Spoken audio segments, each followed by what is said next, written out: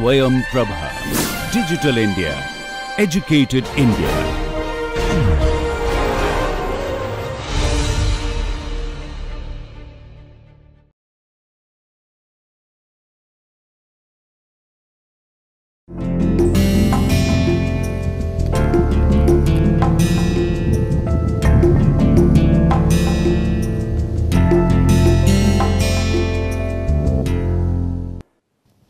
So, hi, hi everyone, we are going to start the next session and in this session we will be talking more about the competitive equilibrium that we were trying to derive in the last session and the reference books and the topics remain same. So, we will be re referring the book uh, mostly of the Williamson and then to some extent the Sanjay Chugh. This particular book that I mentioned last Backhouse, this book will be referred only for understanding why microeconomic foundations are important. So, to give you a brief background that what we did in last two sessions. So, we were talking about how we can arrive at equilibrium, how we can uh, define the representative consumer representative firm and with the interaction of representative consumer representative firm how we can think about finding the competitive equilibrium. So, that was the uh, analysis that we were doing and to some extent we had also discussed certain comparative statics that how and in what situations when you have a increase in wages or increase in dividend or increase in taxes then how this is going to react to the consumer's choice of consumption and leisure. So, basically we are trying to understand the one period framework. There is no future period. There is only uh, only one period which is the current period and how individual agents are taking decisions about how many hours they have to supply and how many hours the firm has to uh, employ a certain amount of labor. So, that kind of examination we are doing it. And in the last session we had also derived the basic part of the model that under the closed economic setup when we are assuming that y is equal to c plus g where y is also the production function the output this is coming from the firm side and consumption is coming from the y is equal to c plus g play very important role. We try to drive this part. So, here we have c is equal to w n plus pi minus t and then with the previous uh, exercise that we did uh, we were able to drive c is equal to y minus g which is consumption is equal to income minus the taxation or the government expenditure and g is equal to t. So, both are substitutable. So, here y is equal to c plus g. So, closed economy model we were able to derive with the basic derivations or assumptions of consumption and about the consumer and the firm. So, these two are important aspects. Now, we will be further trying to see from the graphical uh, perspective that how this can be represented. So, here what we are trying to see is that if you can see here you have the x axis and y axis. On x axis we are measuring the labor input, on y axis we have the output. So, what we are trying to infer from here is that if you have a uh, if the consumer is going to work for h amount of hours means that he does not take any rest, no leisure at all, then, then in that case the maximum output that at aggregate level can be produced by y star, but given the the slope of this production function which is normally the marginal product of labor it is at a. So, at point a you can think about that this is the amount that if if at point a if you can see then this is the output that will be produced with this much amount of labor. So, here H minus L play important role.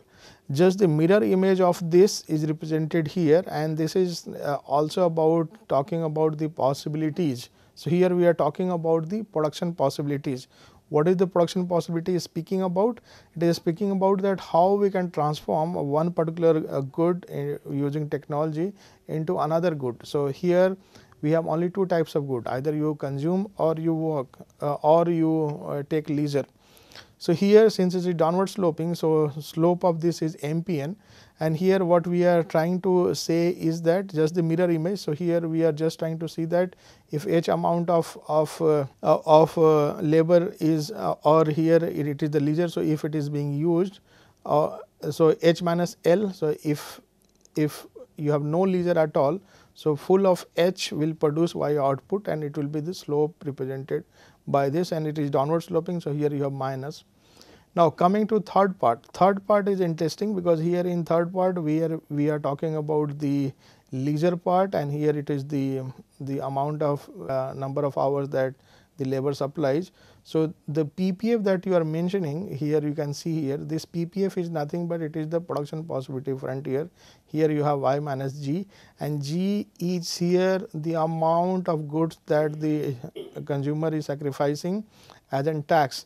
So, overall with the combination of these two we are able to arrive at some kind of we are trying to at least mention about what will be the production possibilities of this particular setup if we are going to utilize full of labor and uh, and with that labor how much output you can produce. So, with this with these three simple graphs we are at least able to see that during so this particular part is the is the output gone already. So, the production possibilities of the economy is hovering around this. So, this is the zone at in which the economy will operate and it will try to convert consumption into leisure. So, this is what we try to get from this and with the help of these three charts we will be able to derive the competitive equilibrium that we are talking about. So, what will be the so here in this chart we are just replicating the same here we are saying that D to B is the point where the representative consumer is getting the income the dividend and the tax that this representative consumer pays. So, this part particular part we are not considering. The j is the point where we are finding that slope of this uh, production possibility frontier. The production possibility frontier is very common technique used in in most of the production analysis. What it says that what is the possibility that a particular uh, firm can transform one good into another and the slope is marginal rate of transformation. So, here if we are talking about the slope of this then it is represented by MRT. If you are talking about the indifference curve which is the representative consumer, so then it is represented by marginal rate of substitution. Now, one thing you have to note is that this is the line that talks about ABD. So, this is the budget constraint and with this if you try to super, superimpose the production and consumption. So, what we are saying that the only thing that decides about the interaction between consumer and firm is the wage rate. So, if I am saying that the marginal rate of transformation of labor to consumption is equal to marginal product of labor and labor will be only working when he gets the wage. So, here the marginal product of labor is equal to wage. So, this uh, this criteria it is just the exchange of hand. So, here it goes by satisfying this criteria. So, MRS LC is equal to MRT uh, LC is equal to MPN and MPN is equal to wage rate. So, if you have MPN greater than W you will have a more labor demand.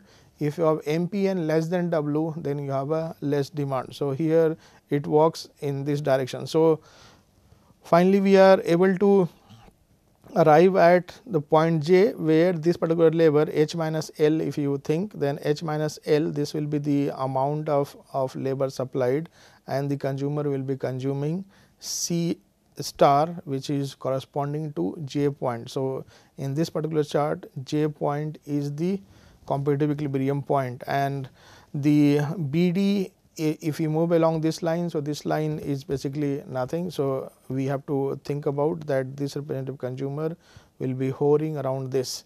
Now, it will have further comparative statics, but comparative statics will be only examining when we are sure that in a perfectly competitive market. So, in one period model one of the objectives is that we are trying to understand that if we are assuming a free market economy where firms and the consumers are free to interact and decide about the wage rate, then is it socially efficient also? If it is socially efficient, then can we examine with some methodology, some method that we normally uh, use in our economic analysis.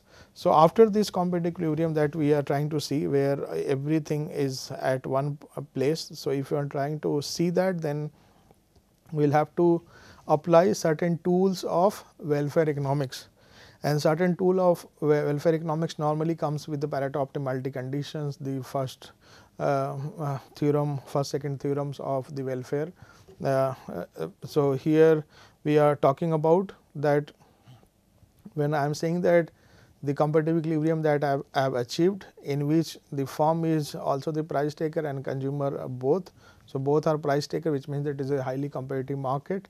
If that is the case then can I say that the competitive equilibrium that I have achieved it is uh, socially optimal or it is having the it is also satisfying the economic efficiency criteria. So, here we are trying to see the connection between competitive equilibrium and the economic efficiency. We are trying to see that how social optimal outcomes that we have just we are going to drive can be achieved under perfect competition the competitive equilibrium that we achieved and and whether can we say that the social optimum is better than competitive equilibrium. So, under the lump sum tax scenario when the government is going to get some amount of output from the consumer then in that scenario is it feasible to say that this representative consumer will always be happy whether this, this is the ideal situation. So, we are trying to say now in the case of when we talk about efficiency then automatically it comes that how you are going to define about the the the uh, condition how are you sure that uh, a perfectly competitive equilibrium is a socially outcome or social it also having a certain characteristics of economic efficiency. For that we have a concept of Pareto optimality. So, we assume that a competitive equilibrium is Pareto optimal if there is no way to make someone better off and then there is no way to make someone better off without making someone else worse off. So, we are thinking in that direction. To determine economic efficiency in the model and to construct the Pareto optimality, we are talking about we introduce a social planner term. What is the term that it talks about? Here we have the representative consumer and the firm. Now, firm is going to decide about how much labor it will employ. So, that part is left because firm has to decide about the market price taker. Up to what extent we make the representative consumer happy because this representative consumer has to think about how many hours of, of labor he would supply and what is the the amount of leisure that he will enjoy. So, he so in order to make sure that this particular combination remains we introduce a new agent and this agent is benevolent and this agent which is called the social planner and social planner is the main task of the social planner is that it makes sure that the representative agent is having sufficient space given and it, it tries to maximize the utility subject to whatever number of hours he or she wants to supply. So, and this social planner does not follow any market norm, it is just the superimposition. So, apart from the firms and the consumers interacting, this uh, social planner is the superimposition condition on this. So, uh, so, so, uh, so, social planner may control consumers and firms up to any extent. A part of the totally produced good is allocated to social planner. So, whatever tax that you pay, the, the social planner is ob obliged by and this social planner will further take it forward and it will make sure make sure that you are not being exploited. And so, in, in that environment we if you try to see then uh, this is what the Pareto optimality condition looks like that if you have the given our setup the marginal rate of substitution for leisure and consumption is equal to marginal rate of transformation of leisure to consumption then at what rate you can convert leisure into consumption which means that more number of hours you are working and with that you have the condition of the labor market the marginal product of labor. So, if you are having these three conditions satisfied then we say that it is a Pareto optimal condition. So, if you think about the, the social inefficiencies that we talk about or the parameters of economic inefficiency in particular, let us focus on the economic inefficiency then here you have two theorems relevant if you are examining in the context of competitive equilibrium that what happens if you have open economy, if you have the free market system, if you think that whatever market has decided whether it is socially optimal outcome if you think about then we have two theorems to focus on. First is the first welfare theorem. Under certain conditions a competitive equilibrium is Pareto optimal. Second welfare theorem is that under certain conditions a Pareto optimal is the competitive equilibrium. So, these two are interlinked. So, first we have very normal case that competitive equilibrium is Pareto optimal. If the competitive equilibrium satisfy the criteria of this, then we can say. Second is about under standard con condition a Pareto optimum is the competitive equilibrium. So, there you have the role of that whatever the Pareto optimality conditions you have assumed then you have to examine that whether it also satisfied the criteria of competitive equilibrium. So, these two are uh, in, uh, different but interrelated concepts. Now, in case of Pareto optimality you can see that this is the output that this particular. Uh, so, here we have minus g. So, amount of output that goes to here we have the H minus L scenario. So, this is the amount of work that this particular guy is doing. In the same way that we have the competitive equilibrium, what we see is that the, the labor will supply H minus L amount of, of labor uh, to, to produce or to enjoy the consumption of C amount and you, you and we know that the, the downward sloping line we have the slope of minus W. So, the competitive equilibrium more or less here satisfies the, uh, this competitive equilibrium that we are assuming it is satisfying the Pareto optimum criteria because it is almost equivalent to the same that we have assumed here. So, it is also having the same characteristics. So, in this case we are examining the pattern of whether the competitive equilibrium that we have assumed it is Pareto optimal. So, Pareto optimal condition is this. But apart from this you have certain considerations that when we have this straightforward case that okay competitive equilibrium became Pareto optimal. So, this criteria seems very easy, but there are certain conditions in which we are not able to satisfy the criteria in which all situations the competitive equilibrium is not Pareto optimal. The first is about the externalities. So, in the economy you have the externalities one is called negative externality, second is called positive externality. So, negative externality, what is the meaning of negative externality? Negative externality example could be that uh, if you have a, if you are, if your house is located nearby um, a power plant or something and if power plant is releasing um, some kind of industrial waste nearby your locality then whatever you are going to get the side effect that becomes the negative externality. Positive externality could be that if you are having uh, uh, uh, the populace located nearby IIT campus may be may be a example of a positive externality that because of IIT you have the employment of lot of people those who are nearby they can come and work easily. But if you think about the the condition that if we have the power plant which is polluting the nearby area I am talking about I am talking about thermal power plant for instance. If it is polluting nearby area, then nearby residents must be compensated for the negative that they are or the side effect that they are facing. So, in such situations it is very difficult to create a market. So, and for example, I gave you the example that those people who are coming to IIT getting a work or, or having employment, they are not paying anything to IIT because they are just uh, by living nearby they have the opportunity access to the campus. They they get income and then they get employment. So there from their part it is welfare but from IIT part they do not give anything.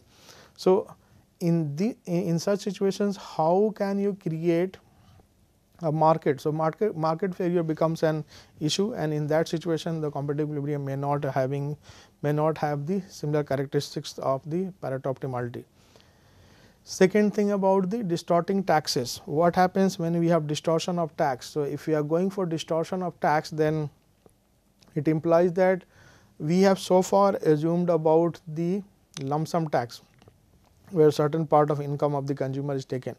But what happens if the if the government is going to decide about the taxing on the the wage income itself. So, not on the your your dividend or anything you are just focusing on the consumer's income. So, wage.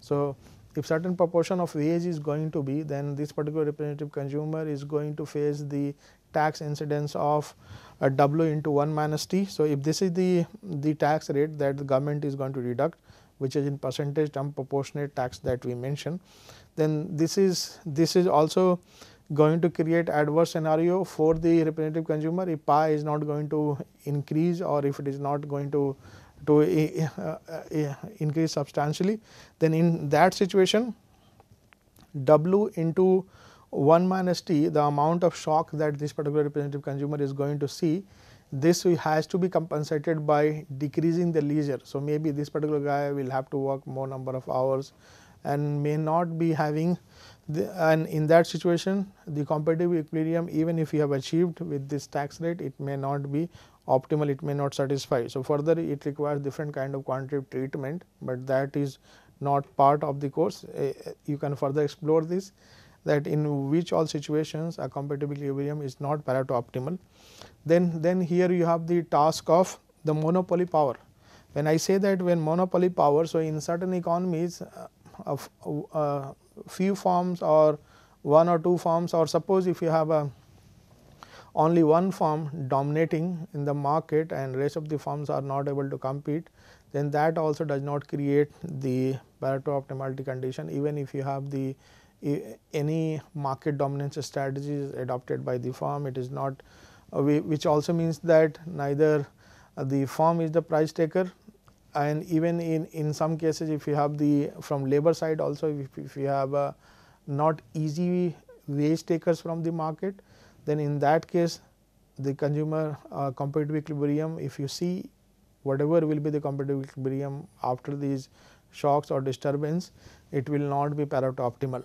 So, these three conditions are important to note eh, because in one period model it looked very easy and smooth going that we had assumed consumer we had assumed form, then we arrived at close equilibrium, uh, close economic equilibrium.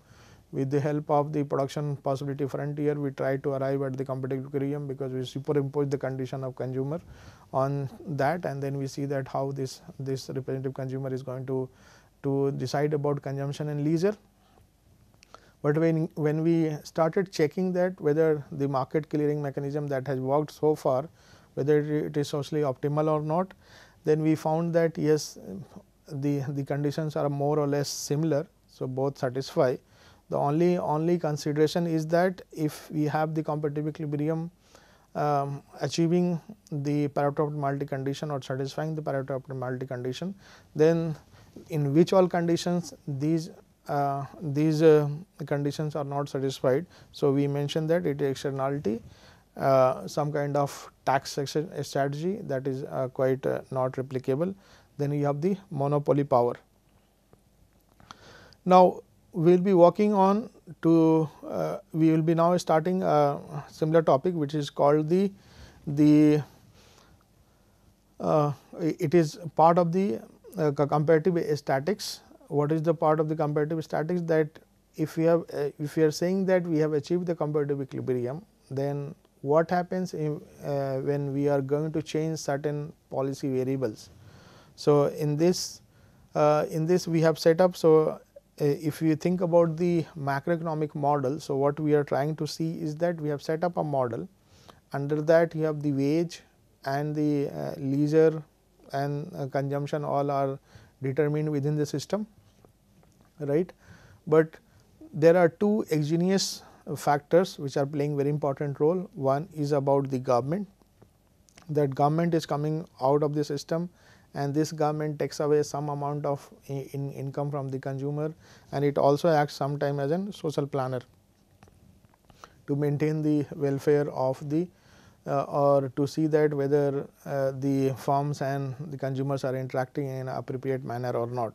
So, if we are going to see that then we have the the macro picture ready that in a business cycle setup suppose if we are going to increase the government expenditure what happens to consumption, what happens to leisure, will there be any role of income and substitution effect.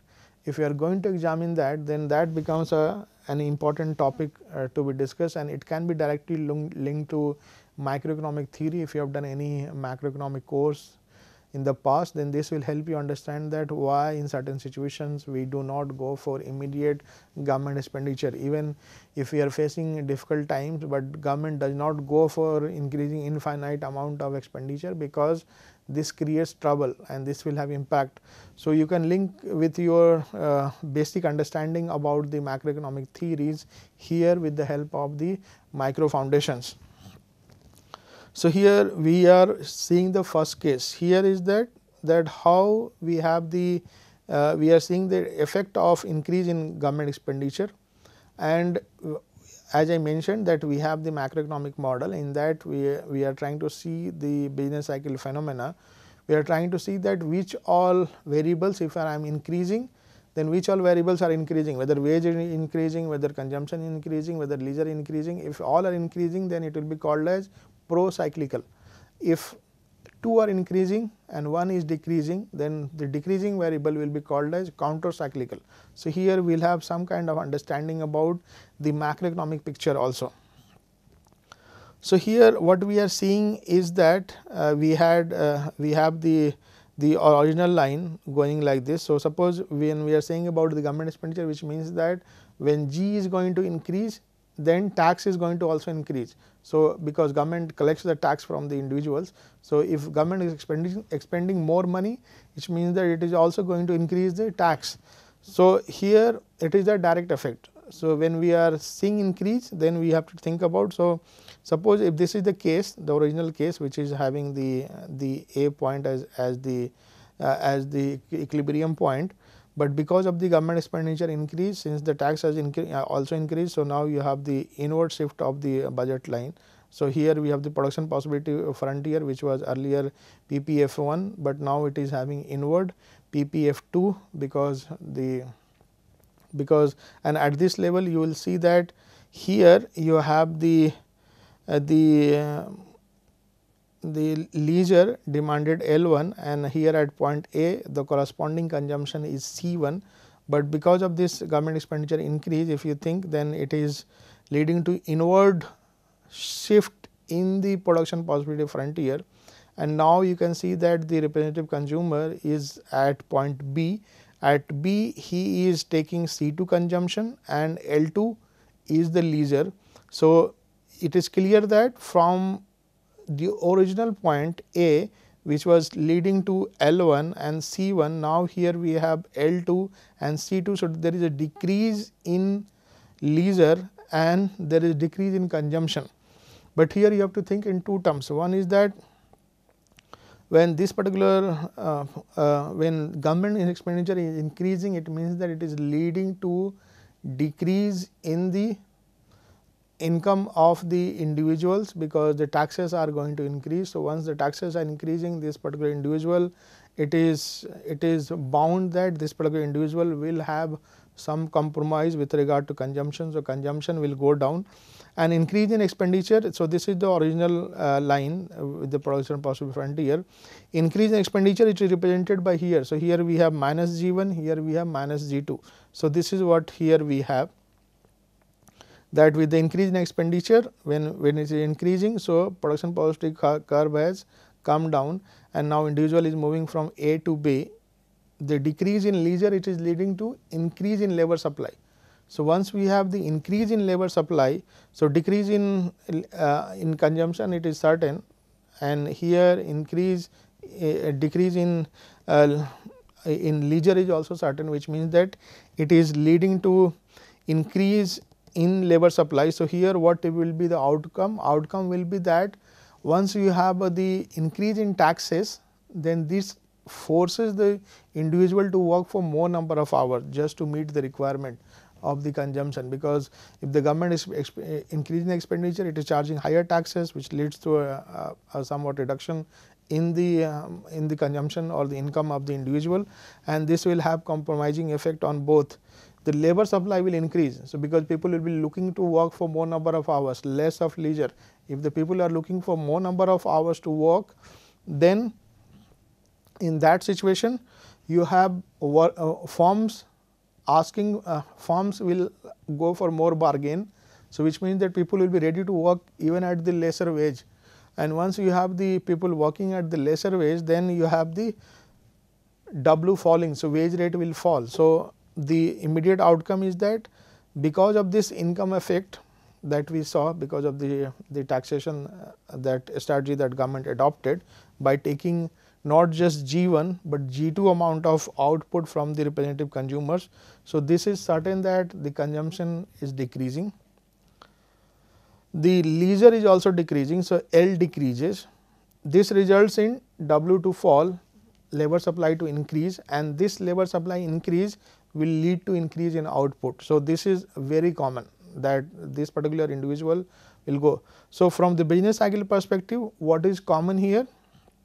Common here is that when you have the increase in government expenditure your Y increases, but consumption and leisure falls. So, consumption falls. So, when you have the increase in in increase in I would say the y increase in y so your n is also increasing because w falls. So, your n is increasing. So, n y are the pro cyclical the counter cyclical is consumption. So, that is why when you have the when you have government expenditure increase it is most likely that the it will lead to have tax implications and this tax implication forces the individual to work for more number of hours.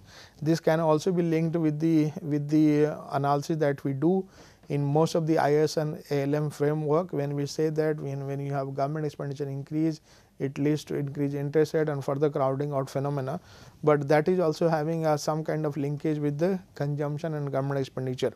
So, with G consumption going down, wage rate is falling which means that the standard of living of the individual will also fall. So, that is why governments are wary of going for immediate releasing of money, immediate expenditure whenever they see any kind of uncomfortable situation.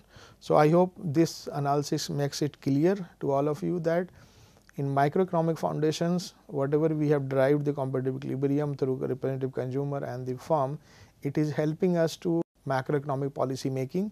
Even in business cycle you can understand with these small small tools to, to uh, have a better understanding about how certain variables react but here in this case the task is easier because we are assuming only one firm and one consumer and this this these two assumptions these two definitions can be uh, uh, extrapolated on a large sample and then over aggregation will give you the picture clear cut idea that how a particular policy has to be designed.